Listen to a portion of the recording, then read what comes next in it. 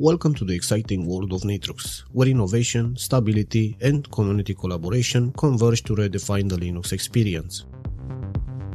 Today, we embark on a journey through the latest release of this remarkable Debian-based distribution, Nitrux 3.4.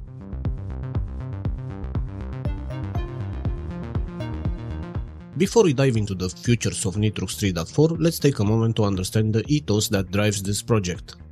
Nitrux is not just another Linux distribution, it's a manifestation of a vision to create a platform that seamlessly combines cutting edge technology with rock solid stability.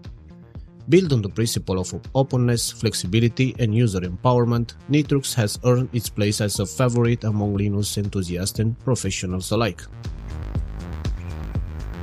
With each new release, Nitrux pushes the boundaries of what's possible in the Linux ecosystem.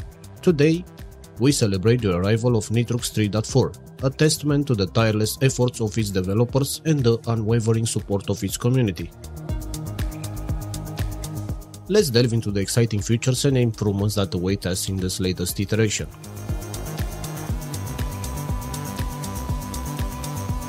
At the heart of Nitrux 3.4 lies the KDE Plasma 5.27.10 LTS, a familiar companion for Nitrux users.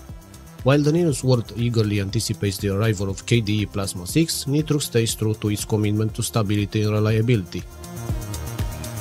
But what does that mean for Nitrux users and why the decision to stick with Plasma 5.27.10? Central to the Nitrux experience is the NX Desktop, a custom Plasma desktop environment that offers unparalleled customization and immersion. With a vast array of widgets and plasmoids, the NX desktop transformed the traditional desktop paradigm into a dynamic and interactive workspace. However, the transition to KDE Plasma 6 presents unique challenges for the NX desktop.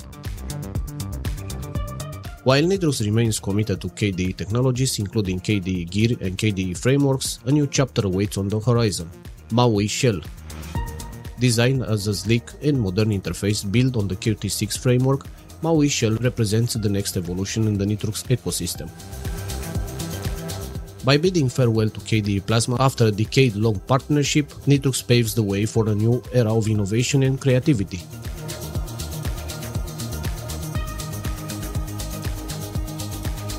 Beyond the desktop environment, Nitrux 3.4 brings a host of technical enhancements and improvements to the table.